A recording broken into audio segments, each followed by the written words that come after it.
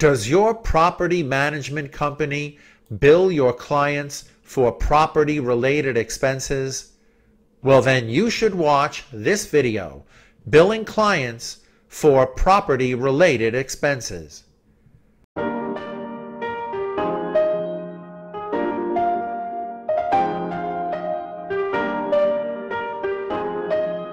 If you have any questions about this topic, you can leave them in the comments section below and I'll do my best to help you.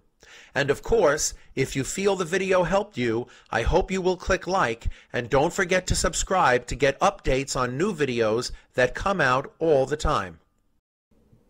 How do we manage property related expenses? Well, any property related expenses that are necessary to be paid in order to keep the landlord in compliance with their lease agreements and any property related regulations, those are paid by us, the management company.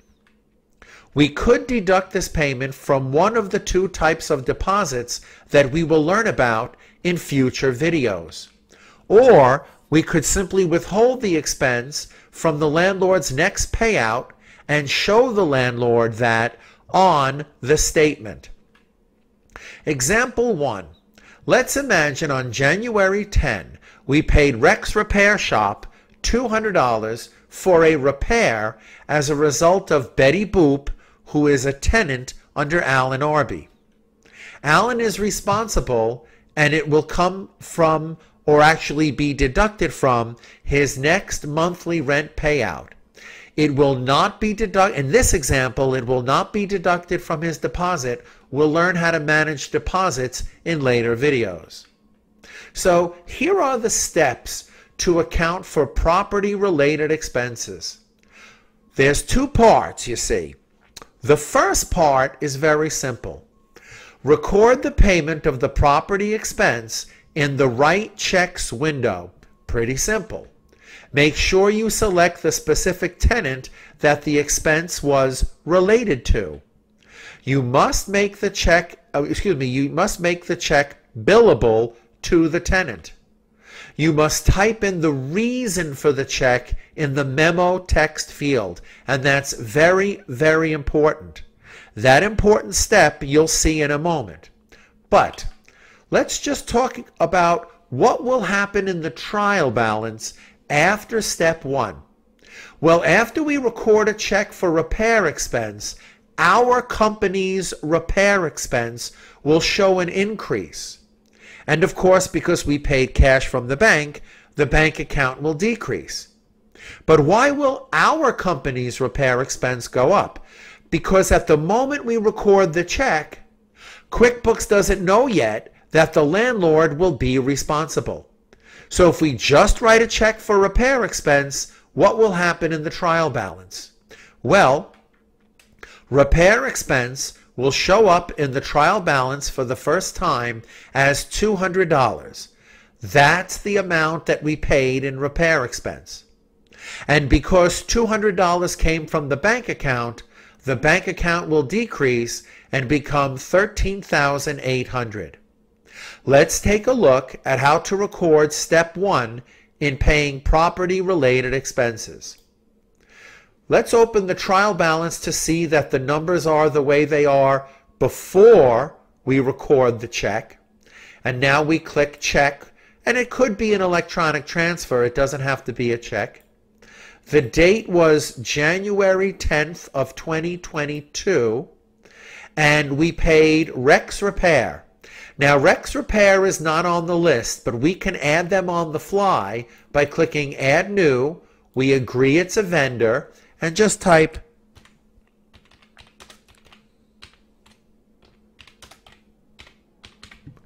Boom. Now we've added a vendor to the vendor list on the fly, which is which means we added it at the moment we recorded the transaction. And the amount was 200. Now, the account is the um, repair expense. Repair expense. And the customer job it relates to is Betty Boop under Alan Arby. And look, by default, the billable check mark is there. If the check mark is not there, you have to click to make it billable to Betty Boop under Alan Arby for repair expense 200.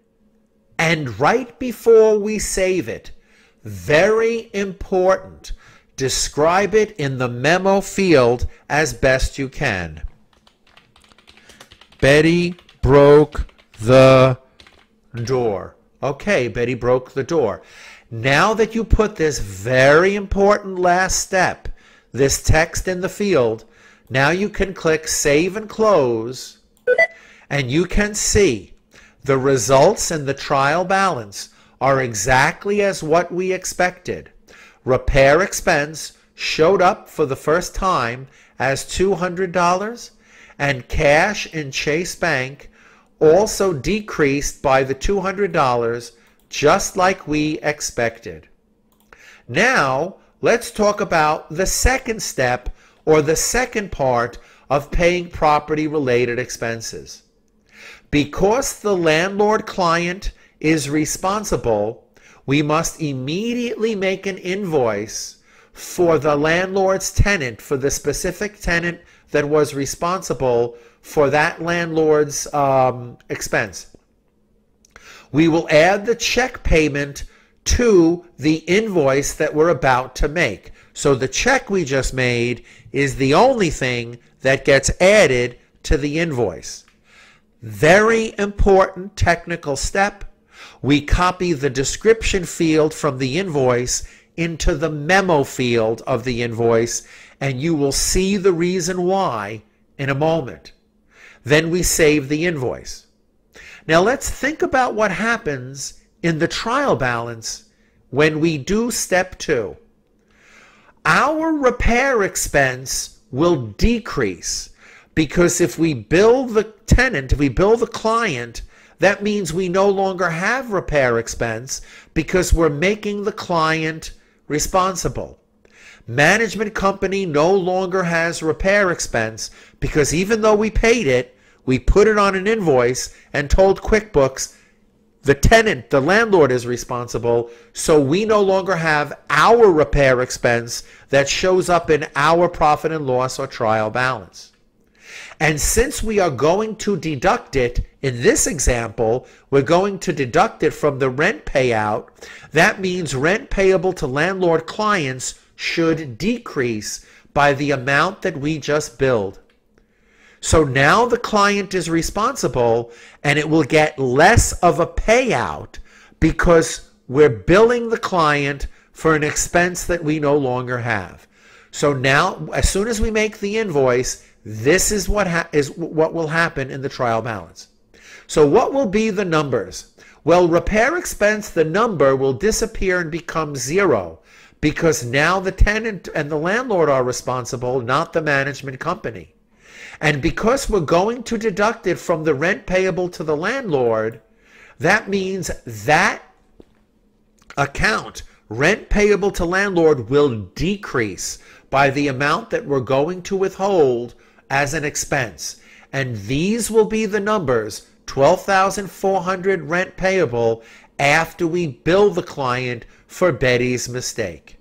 No problem. We click invoice. Now, at the moment we choose Betty, QuickBooks reminds us that there are billable time and costs, and we can click OK, and you see it's an expense that we can click the check mark in. Okay. By the way, don't worry if you lose the window because you could always click here from the ribbon to reopen the window if it does not automatically pop up when you choose Betty, but it should. So we're taking the one expense that's available, billable to Betty, click the check mark to tell QuickBooks this check is going to be added to the invoice. Click OK, and now you notice the description is nice and clear, which is very important. You must copy the description to the memo field, and you will see the reason why in a moment. And now that we've created the invoice properly, click Save and Close. Oh, you know what? You have to remove this stupid email thing. Save and Close. And now you can see the results in the trial balance were exactly as what we expected. We do not have repair expense because we made the landlord client responsible and the landlord client's payout decreased to the 12,400 total that we expected. But the most important results are in the most important report. Look at the landlord payout balances. Now you can see that we were supposed to pay Alan $2,800 as a result of Betty. But now you see, now that we had to uh, uh make this invoice, now we're only going to pay $2,500 or 27, 25. We're going to pay 200 less. You know, this puts it in date order and we actually put the end of month billing first. But you can see instead of paying 28, we're paying 25, or instead of paying 27, we're paying 25 as a result of this invoice clearly marked Betty broke the door. So here's the day that we paid it. So therefore, we're paying out $200 less. Now, to really understand this, let's do a second example. Let's imagine on January 20, we paid Staples $300 for supplies as a result of Freddie Froda, who is a tenant under Dave Deeney, the landlord. Dave is responsible and it will come out of and be deducted from his monthly rent payout, not from the deposit we will learn about in the future. So what will happen after step one? Well, supplies expense will go up in our company because QuickBooks thing and cash and bank will go down because we're paying. QuickBooks doesn't know that the landlord is responsible after we simply record a check. So that's why our company's supplies expense will go up. And what will be the result? Well, supplies expense will show up in the trial balance for the first time as 300 and cash will go down by 300 because we just paid $300 for supplies. But remember how to record the check. The check, we put the date, the 20th, which is the date we paid, and we put, uh, we have to add um, staples. Add new, vendor, staples. Click OK. Good. Normally, we would put the address and so forth, but you could always reopen the vendor center, choose Staples, and add any missing information later on because the vendor center is the same as the customer center. So we'll continue with the check, $300, and we know that it's supplies expense, and we know that the customer, it was uh, Freddie Froda under Dave Deeney. Freddie Froda under Dave Deeney. And look, very convenient.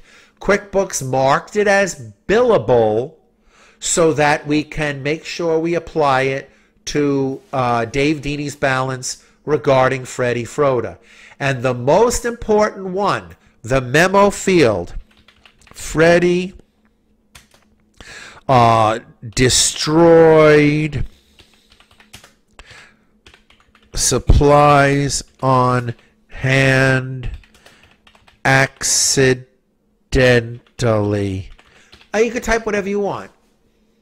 Okay, but just recording a check, even though we're we marked it as billable, just recording a check makes our supplies expense go up, and of course our cash goes down, and these are the numbers we predicted. Now we will immediately do step two bill the client. What will happen? Well, once we bill the client, the supplies expense will go down because our company no longer has that expense because the client, the landlord, is now responsible.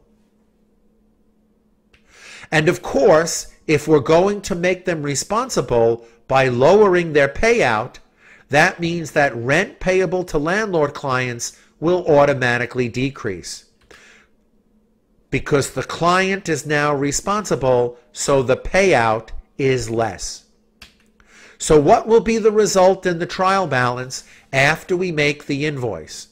Well, we no longer have supplies expense because we made an invoice that makes the landlord responsible. So that disappears and becomes zero. And because we are withholding it from the future payout, the future payout decreases by 300 and becomes 12,100. We click invoice. We put the date that we're billing, which QuickBooks remembers. We put Freddie Froda under Dave Deeney, and QuickBooks reminds us that there's an outstanding bill for that. We click OK, and we choose, we click the check mark to choose the check that we wrote. Now, we're almost finished, except we have to copy the description to the memo field to make the report work for us. Now when we click save and, uh, you know, you got to remember to take this email thing off. Click save and close. Don't worry about the number. Now we do not have supplies expense because the future payout that we will that we owe and will pay later has decreased because now they are responsible and the numbers are exactly as what we predicted.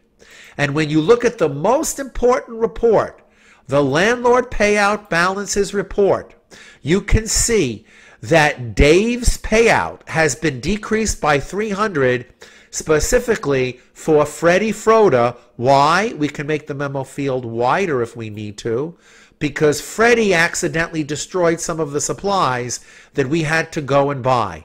So this little section here, we'll make this a little wider, this little section here clearly explains why Dave is only getting um, Dave is only getting 3,300 as a result of Freddie's payout because we billed him for the service and billed him for Freddie's mistake.